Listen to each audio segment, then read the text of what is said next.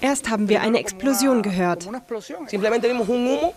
Wir haben Rauch gesehen, der sehr nah an der Sonne war, und dann haben wir Gesteinsteile auf der Straße gefunden.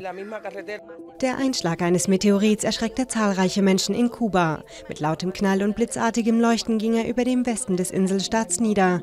Große Schäden richtete der Meteorit nach Behördenangaben offenbar nicht an. Er soll beim Eintritt in die Erdatmosphäre in mehrere Teile zerbrochen sein. Dem Geophysischen Institut zufolge handelt es sich bei dem unerwarteten Besucher aus dem All um einen Steinbrocken aus Eisen, Nickel und Magnesiumbeimischung.